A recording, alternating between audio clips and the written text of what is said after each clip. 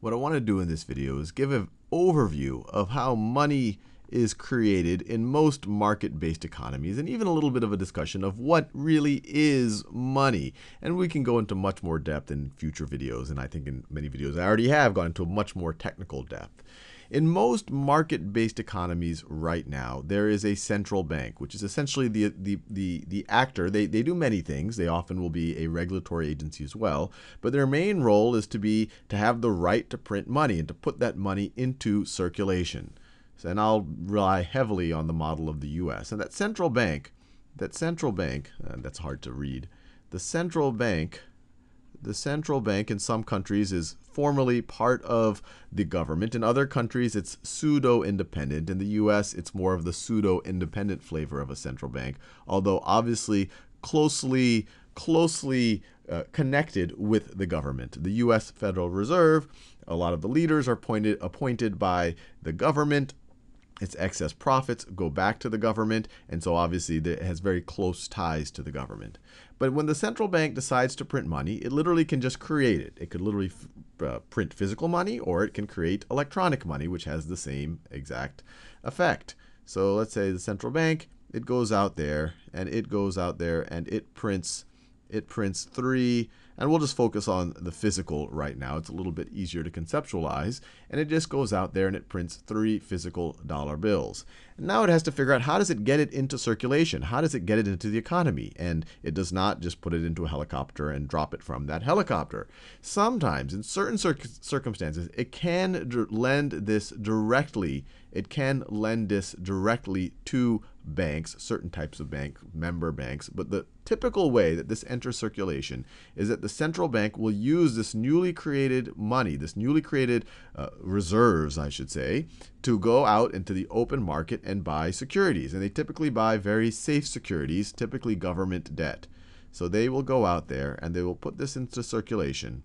They will put this into circulation. And in exchange, they are buying they are buying securities from the open market. So then these securities from the open market will go to the central bank. So these are securities, or maybe we could call them bonds. And once they do that, then whoever had these before, whoever was the owner of these securities before, they just sold them. Now they have these dollar bills, and they will, they could either directly spend those dollar bills or they could deposit those dollar bills in a bank. If they spend the dollar bills, then whoever they gave those dollar bills to at some point would want to deposit in a bank. So some way by buying these buying these securities, someone now has these dollar bills and they will deposit them in a private bank. So let's draw that. So right over here, right over here is a private bank. And now it has the dollar bills. It has these reserves now. It has the reserves. Now, that's not the end of the story. This money can now be lent. And this is key because this is what's what's typical in in most market economies when, where they have fractional reserve lending. So fractional fractional reserve lending which is a bit a bit strange because you are telling the person who just deposited this money right here that you can go at any time and you can take this money out. We've got this money for you. You can trust us. You don't have to be paranoid about what's going on with this money. But the reality is, is that this bank is allowed to keep only a fraction of these reserves and lend the rest of it out to lend the rest of it out. In order for the system to not be super fragile, the central bank then also insures these banks, but we'll talk about that into more depth. But here I just want to show you how the money is created in this fractional reserve lending system. So this bank right over here says, well, have to keep a little bit of these reserves in case that guy comes. The probability of all of my all of my, all of my customers coming on the same day and asking for all of their money is low. I just have to keep a little bit for whoever does come, and then the rest of it I can lend out, even though I promised everyone that all of their money is available.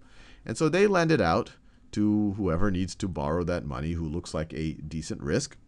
And those people might not spend it immediately, and so they would deposit it into a bank, or they might spend that money immediately. They buy a factory, or they buy a car, or they do something with it, and whoever they bought that new thing from, those people now have the money, and they will deposit it into a bank. And so this newly lent money will then uh, end up in perhaps another bank. It could even be the same bank. So that will also end up also end up in in a bank right over here. And now this bank, it can also only keep a fraction of the reserves and lend out the rest. And for simplicity, in most banking systems, they only have to keep 10 on the order of about 10% of the reserves in house, and the rest they can lend out. But over here, I'm keeping much larger reserves just for the sake of making it easy to draw this diagram. So this bank right over here, maybe it decides to keep this dollar bill, and it could lend this one right over here out. And once again, when it lends that dollar bill, it will end up somehow, it, the person they lend it to might keep it in a bank temporarily, or they might immediately buy something. And when they buy something, it will eventually end up in a bank because the person they bought something from will deposit that money. And so it could end up in another bank. It could end up in another bank. And now this is interesting, and in future videos we'll go into more of the math of exactly how much money is being created, and it's an interesting mathematical in interesting mathematical problem. Actually, it's a sum of an infinite series and all of that. And you can look up look that up if you're interested in, in those ideas. But the basic idea here is even though the central bank printed three units of base money, $3 right over here, there's a lot more money in the system. You have this guy who made this deposit thinks he has $3. This person had thinks they have two. This person thinks they have one. So just in this example over here, we have one, two, three, four, five, six dollars. So just right over here, we have $6 in this system. $6.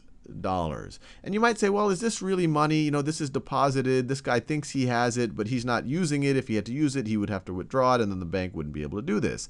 And this is where checking accounts are really important. I'm assuming that these were on demand checking accounts. So this guy the reason why he's not going to withdraw this money is he can still use it as money by writing checks. So if this guy, let's say this is all the money that he has, and he decides that he really needs to buy an apple, and that apple costs $1, and that apple costs $1. So this is my drawing of an apple right over here. He does not have to withdraw this dollar out of the bank. He can write a check. So right now he has claims to, the, to all three of these dollars. He can write a check to the Apple vendor. So $1, $1 here, you know, he writes a check, gives it to the Apple vendor, and now he'll get the Apple. So this check is acting as money, and now the Apple vendor will have the rights to one of these dollars right over here. And now the Apple vendor could write a check. So this dollar never has to leave the banking system, but because of checks, it is essentially enabling these this, this check writing. It's enabling these transactions to occur. So it's still enabling either you could view it as it's it's still acting in some forms of money because the rights to it can change even though it's sitting out in here and it's been lent or you could say that it's enabling the writing of checks that are acting as some form of money and the whole reason I want, I want to do this I'm going through this exercise is to show you that the amount of money in circulation isn't really in the central banks or not directly in the central bank's control. They can definitely decide, hey, I'm going to print money, buy securities, put it into circulation, or if they want to take money out of circulation, they can decide to sell these securities. And then when they sell the securities, maybe this guy will buy them. Those dollars will go back to the central bank, and maybe they could put it out of commission. But you have this whole effect right over here. If you have more lending occurring, if the banks are feeling very confident, then more of this will happen. You will get more of this, uh, the multiplier effect of this lending. And if less lending is happening, then you could potentially see all of this contract.